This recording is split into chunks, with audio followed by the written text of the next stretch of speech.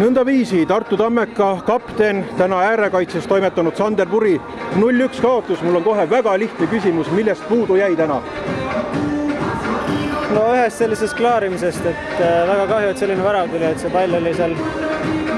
oli seal lahti kornerist ja lihtsalt sutsisid selle sisse, et see jääbki kriperdama, sellest jäigi puudu. Oleme ausad, tegelikult üldse nende standardite puhul, mida kodanik Poom teile sinna värava ette saatis, karistuslöögid, nurgalöögid, teil oli seal üldse raskusi, et äh, mille, mille taha need standardite kaitsmine jäi? oli küll jah, selles mõttes ma, meil on sel hooajal üldse päris palju väravaid löödud graafikatest ja standarditest, et see on selline kerge, kerge probleem praegu jah, aga aga samas ise tekitame ka võimalusi ja täna olime päris tublid, et selle üle on nagu hea meel, aga lihtsalt ei, ei suuda neid väravaid, väravateks veel lüüa no kas see, kui te jäite nüüd,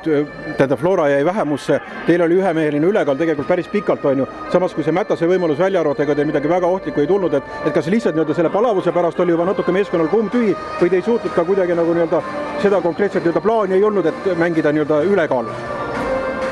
jah, ma arvan, eks mõlemal oli lõpus juba kumm päris tühi, aga jah, võib-olla oleks pidanud rohkem veel kõigutama ja ütleme jah, seda viimast passi nagu ei leidnud sinna ettepoole, et me küll seal taga hoidsime seda palli, aga aga jah, nagu sa ütlesid, sellist väga teravat võimalust me ei suutnud luua. veel üldine küsimus selle kohta ka, et mis nüüd on, ütleme, meeskonna ettevalmistuses ja värkides nüüd muutunud pärast eh, peatreeneri vahetust?